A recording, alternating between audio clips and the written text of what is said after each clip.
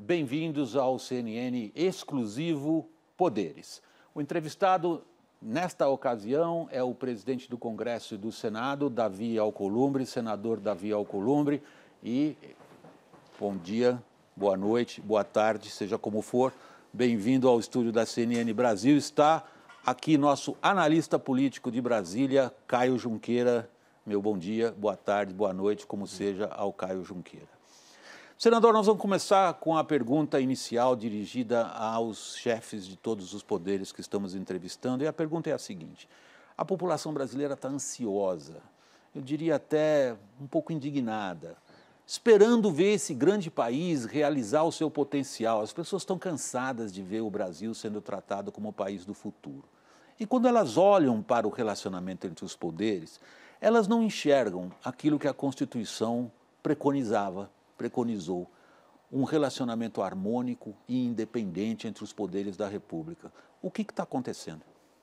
Bem, primeiro eu quero agradecer a oportunidade de estar aqui hoje, podendo participar dessa entrevista que é fundamental para que a sociedade brasileira possa compreender esse ambiente institucional da democracia, do Estado democrático de direito. Em relação ao parlamento brasileiro, William, eu não tenho dúvida que desde o dia 2 de fevereiro, quando eu assumi a presidência do Senado, eu, em todas as minhas manifestações, eu tenho me posicionado em fortalecermos as instituições. É, brasileiros lutaram muito para que nós tivéssemos o, o Estado democrático de direito, mas está assegurado também nesta mesma Constituição que os poderes são independentes, porém harmônicos. E a é gente é isso tem vivido, que a gente não vê acontecer. E a gente tem vivido, de fato, nesses últimos meses, uma polarização, ainda resultado da eleição presidencial. A eleição terminou, mas aparentemente, para algumas autoridades da República, a eleição ainda não terminou. No Congresso, que eu posso falar do Parlamento, do Senado e da Câmara, porque estando presidente do Senado, eu estou chefe de poder, presidente do Congresso brasileiro, eu tenho buscado essa conciliação e esse diálogo desde o primeiro momento. E sei que do parlamento, da parte do Congresso, nós temos nos dedicado a isso, a busca dessa conciliação. O senhor está fazendo uma crítica ao outro poder, o senhor está criticando o poder executivo. O senhor acabou de dizer que para alguns a eleição não terminou. O senhor está dizendo que o poder executivo continua se comportando em relação ao legislativo como se tivesse uma campanha eleitoral? Já disse isso várias vezes, publicamente inclusive.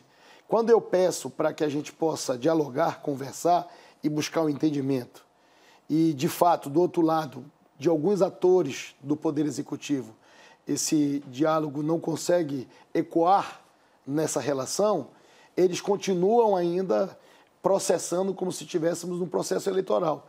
A eleição acabou. Não foram só os brasileiros que votaram no candidato A ou no candidato B que estão aguardando respostas são todos os brasileiros que esperam do governo e do parlamento as respostas que são urgentes para a sociedade. Presidente, do que, que depende a estabilidade entre o Congresso e o Palácio do Planalto?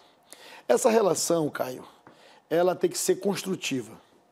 Da nossa parte, a gente tem se assenhorado das matérias, o parlamento brasileiro tem é, conduzido a dianteira dos processos legislativos no parlamento mas precisa de fato a participação do governo central, porque as pautas elas podem parecer hoje do parlamento do Congresso, mas elas são pauta de governo. E eh, você vê em alguns momentos o governo falar do interesse da votação e da aprovação de matérias, mas se isentar do debate. O governo tem que participar ativamente.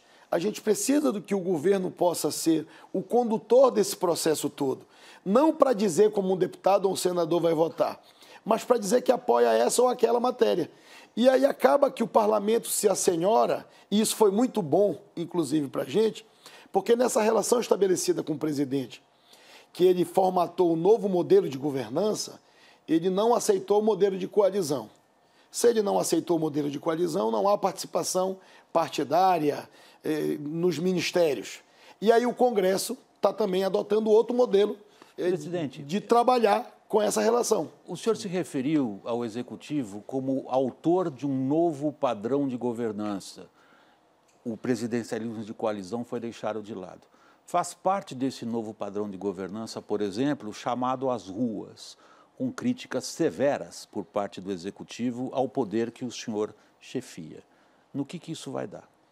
Olha, primeiro eu acho que é injusto com o Congresso, é, nessa relação que a gente tem a todo momento buscado a pacificação e o que o Congresso tem dado para o governo do ponto de vista de matérias importantes votadas. Se você analisar o ano de 2019, o parlamento brasileiro, o presidente do Brasil, entregou a reforma da Previdência no Congresso, na Câmara dos Deputados, e saiu de lá e disse que agora a bola estava com o parlamento. O governo tinha que participar de todos os debates.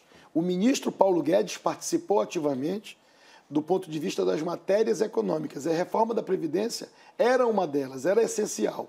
Mas o parlamento acabou, acabou tomando para si a responsabilidade tendo a clareza do seu papel. Então, convidar as pessoas para um ato contra as instituições é atentar contra a democracia. Nós estamos é, a todo momento lutando e brigando para fortalecer o Poder Judiciário, para fortalecer o Poder Executivo e para fortalecer o Poder Legislativo. Essa sua frase é muito contundente. O senhor está dizendo que quem convocou as pessoas às ruas para se manifestarem contra um dos poderes da República está cometendo um atentado à democracia. Naturalmente é, porque eu não fiz nenhuma manifestação ainda do ponto de vista de cobrar do Executivo para que ele participe abertamente das discussões, para que a gente consiga construir o um entendimento. Ao contrário, o que acontece por parte de outras autoridades do Executivo é esse embate constante e esse embate constante não vai ajudar o Brasil. Eu falei em uma reunião importante que nós tivemos no parlamento, na presidência do Senado, que os brasileiros estão querendo soluções para os seus problemas. Eles não querem saber se o presidente está num partido ou está sem partido, se o presidente do Senado é partido A ou é do partido B. Eles querem que o parlamento, que a política, que a institucionalidade dê soluções para os seus problemas reais, presidente. da vida real do dia a dia. Esse é o, é o mote. De alguma maneira vocês se sentem acuados ou pressionados não, pelas ruas? Não, quando as, não. Quando as pessoas vão às ruas? Não nos sentimos assim porque temos a consciência das nossas obrigações. Então todos nós estamos muito tranquilos é, do que nós estamos fazendo, todos nós juntos, deputados, senadores, deputadas, senadores, líderes, nós temos a consciência do que nós estamos fazendo pelo Brasil. Nós estamos fazendo pelo Brasil para as próximas gerações às vezes as pessoas podem é, questionar para amanhã. Mas essa missão do questionar para amanhã não é a missão do parlamento do Congresso. Nós estamos tratando de legislação, de leis importantes. Nós estamos tratando de mudar a vida de milhões de brasileiros em várias regiões do Brasil. Mas porque ainda assim, é, em várias ocasiões, a avaliação que se tem do Congresso não é tão positiva? Não vejo assim. Eu vejo que as pessoas na ânsia de resolver os problemas de amanhã, cobram hoje é, do parlamento, mas o parlamento tem a sua agenda. Nós temos a pautas, as pautas prioritárias do Congresso Brasileiro. Então nós sabemos aonde queremos chegar e sabemos o que devemos fazer hoje. Portanto, a nossa consciência do tamanho da nossa responsabilidade e do que nós estamos fazendo. Posso, posso chamar a sua atenção para uma questão específica da Casa Legislativa que o senhor preside? O senhor tem dentro do Senado hoje um movimento chamado Muda Senado. Ali estão vários senadores que manifestam uma certa preocupação. Eu estou sendo diplomático, na verdade, eles estão sendo muito críticos em relação à sua presidência, afirmando que o Senado tem sido ultimamente apenas uma casa que chancela o que foi decidido na Câmara dos Deputados. E considero que o Senado, a grande casa, grande representante do Pacto Federativo, está sendo diminuída. Como o senhor reage a essa crítica? Não é verdade. Esse grupo Muda Senado, que se estabeleceu dentro do Senado Federal, eles têm duas bandeiras que uniram alguns parlamentares, que eu acho equivocadas. Acho que cada um tem a autoridade de decidir o caminho que quer seguir na defesa da sociedade. As duas bandeiras constituíam uma CPI para investigar os tribunais superiores, CPI da Lava Toga, e abrir processo de impeachment de ministro do Supremo Tribunal Federal. Eu já disse várias vezes, vou repetir novamente aqui na entrevista, isso não é a pauta dos brasileiros. O constituir uma CPI e abrir um processo de impedimento de um ministro do Supremo, nós vamos paralisar o Brasil, porque nós estaremos enfraquecendo o poder judiciário. A gente quer fortalecer o judiciário, a gente quer fortalecer o parlamento, a gente quer fortalecer a, o poder executivo. E, e essas duas pautas não têm o aval, não é do presidente, é de 60 senadores. Porque essa matéria já foi analisada na CCJ, essa matéria já foi analisada no plenário e o plenário referendou a nossa decisão. Mas, que não cabe investigar o judiciário, está na Constituição. Ao, ao, negar essas duas pautas, não acaba sendo uma blindagem do próprio Congresso, porque ao proteger o judiciário de ser investigado, vocês acabam favorecendo também a vocês mesmos, porque é o próprio judiciário que investiga vocês. Não, Caio. Não, não, não acaba sendo um acordo meio de. Não existe acordo, existe entendimento e, e busca do diálogo. O que eu estou fazendo, eu estou amparado na Constituição e no plenário. Agora, não é razoável que um chefe de poder que tem que trabalhar pelo país, que precisa de segurança, que precisa de saúde, que precisa de infraestrutura, possa, numa decisão, paralisar o país. Não serei eu o responsável pela paralisação do Brasil. Ao contrário, eu estou tentando, da melhor maneira possível, conciliar os poderes e buscar soluções, porque os brasileiros querem soluções, não querem mais problemas. Problemas eles estão vivendo todos os dias. Presidente, o senhor se refere com toda a legitimidade ao que a Constituição permite ou não. Como é que o senhor pretende cuidar da sua reeleição? Há obstáculos na Constituição ou o senhor está munido de pareceres jurídicos que lhe permitiriam seguir adiante no que parece ser um evidente interesse seu de permanecer onde está? É, William, é, eu ainda não falei sobre esse assunto publicamente. O que há é um sentimento de vários senadores que foram externados a, em alguns veículos de comunicação da condução da minha gestão como presidente do Senado. O que há de fato é que uma ampla maioria de senadores concordaria com uma possível reeleição para a presidência do Senado. Porque o que há concretamente é você ter hoje assegurado uma reeleição para presidente da Câmara e do Senado numa segunda legislatura. Ou seja, você acaba transformando um deputado ou um senador que é eleito no primeiro biênio em um senador de segunda classe. Porque por que, que o senador ou o deputado eleito no segundo biênio ele tem o direito de se reeleger e o do primeiro biênio não tem? Então há uma discussão sobre isso. É uma questão de entendimento. Houve em outras ocasiões, por exemplo, no caso do presidente Rodrigo Maia, assegurado pelo Supremo Tribunal Federal que ele pudesse se reeleger na mesma legislatura para ocupar o mandato do ex-presidente Eduardo Cunha. Ele, eh, na época, falaram que seria um mandato tampão foi na mesma legislatura. Há um questionamento sobre o mandato do senador e o mandato do deputado federal. O mandato do senador é oito anos. Então a legislatura do senador é dois anos, é quatro ou é oito? Eu entendi. Então há, há algumas dúvidas em relação a isso. O senhor me corrija se eu tiver o meu entendimento equivocado, mas eu entendi da sua resposta que o senhor quer permanecer onde está e o senhor se sente justificado do ponto de vista jurídico. Não, eu estou cumprindo o mandato que fui eleito por dois anos.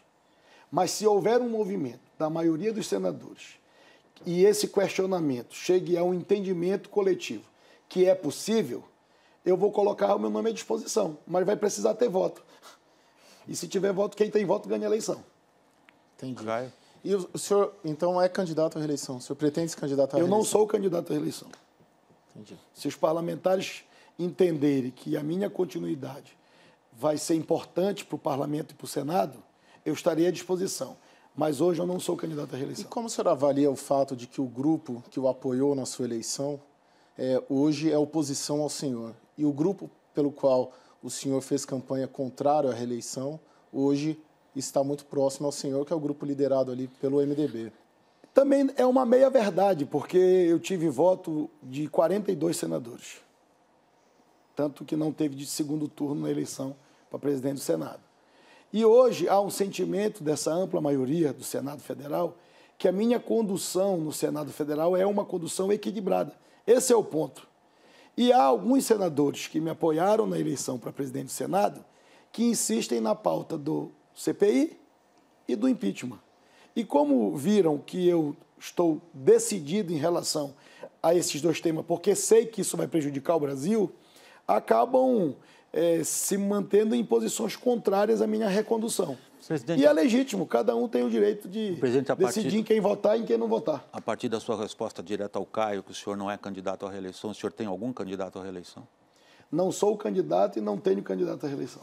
Deixa eu pegar um outro aspecto que é o relacionamento entre as duas casas legislativas, o Senado e a Câmara. Há um projeto de enorme importância para um país pobre, injusto e que sofre das mazelas mais primitivas, que é saneamento. A gente vê entre as duas casas um verdadeiro ping-pong em torno de um projeto de enorme importância social, que é o saneamento. O Senado e depois a Câmara, depois o Senado e depois a Câmara, e a questão básica está parada. O que está acontecendo? A Câmara fez produzir um texto. O Senado produziu outro texto. Como acontece com a reforma tributária também. Mas isso é natural. Eh, Nós vivemos num sistema bicameral. A Mas não é Câmara- natural esperar todo esse tempo. Não, a Câmara tem a legitimidade de fazer as alterações e o Senado também. A gente tem a legitimidade de propor matérias que se iniciem no Senado e a Câmara tem a condição de propor matérias que se iniciem na Câmara dos Deputados. E o que acontece é que os, os textos acabaram saindo em linhas opostas é, o desejo da maioria. Então, o que é que nós estamos buscando agora para resolver esse impasse? É que a Câmara compreenda o papel do Senado, o Senado entenda com legitimidade o que a Câmara fez e o senador Tasso Gereissati, que será o relator da matéria, porque foi do projeto original, será o relator na Comissão de Infraestrutura. E ele está buscando a construção de um texto que possa passar por supressão de algumas alíneas, incisos e parágrafo do texto que veio da Câmara, acordado com a redação construída no Senado, para a gente tentar que essa matéria não volte mais para a Câmara. Só que a gente precisa construir um amparo regimental, legislativo e jurídico para isso. Há esse entendimento, nós tentamos e estamos tentando buscar esse acordo para tentar votar no Senado e mandar para sanção presidencial. Então, presidente, a gente já está na metade de março. Por que, que é tão difícil, tanto das reformas como saneamento, em um contexto geral, das coisas andarem eh, no Congresso? Porque o, o parlamento se iniciou agora as suas atividades. Então, era re- recesso janeiro, voltamos em fevereiro, temos, tivemos o intervalo do carnaval, e agora, naturalmente, a engrenagem começou a girar. E há essa reunião, já foi designado para que os processos da questão do saneamento vá para a Comissão de Meio Ambiente e para a Comissão de Infraestrutura e acelerar para que os senadores e deputados possam reunir para apresentar um relatório. O que, que a gente pode esperar que seja aprovado, pelo menos nesse primeiro semestre? O- a questão do saneamento é prioridade para a gente. Nós estamos tratando uma questão importante do ponto de vista da informação, que é o projeto de lei que está na Comissão de, de Ciência e Tecnologia, que está sendo relatado pelo senador Harold de Oliveira. É importante do ponto de vista da infraestrutura da comunicação brasileira.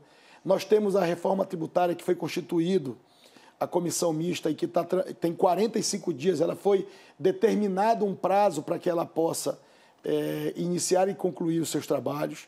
Nós temos a questão das PECs do Pacto Federativo, que são prioridades. A PEC do fundo já foi aprovada na CCJ, já vamos levar para o Tudo isso vai ser aprovado? A gente quer, nesses seis meses, eh, concluir o Pacto Federativo e votar a, a, a Lei do Saneamento Básico, o novo marco regulatório. Como que o senhor avalia a sua relação com o presidente Bolsonaro? O senhor, comparando com o seu colega ali na Câmara, que é do seu partido também, o presidente Rodrigo Maia. O senhor é mais próximo do Palácio do Planalto do que o Rodrigo Maia? Como Não é avalia? ser próximo ou ser distante.